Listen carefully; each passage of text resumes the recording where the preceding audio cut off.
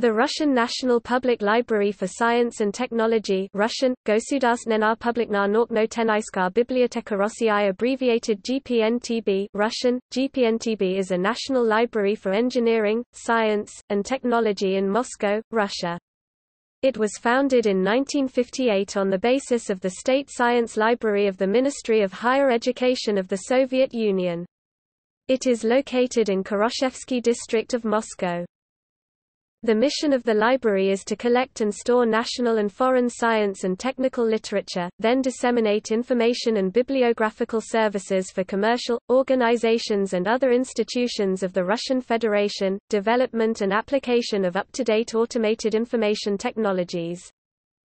The library has a status of scientific research institute with an academic council consisting of 30 well-known scientists and specialists in information technologies.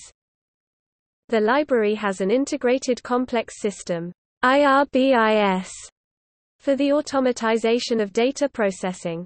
This system became the official standard for the other libraries. The library was one of the leaders in using a technology of barcodes.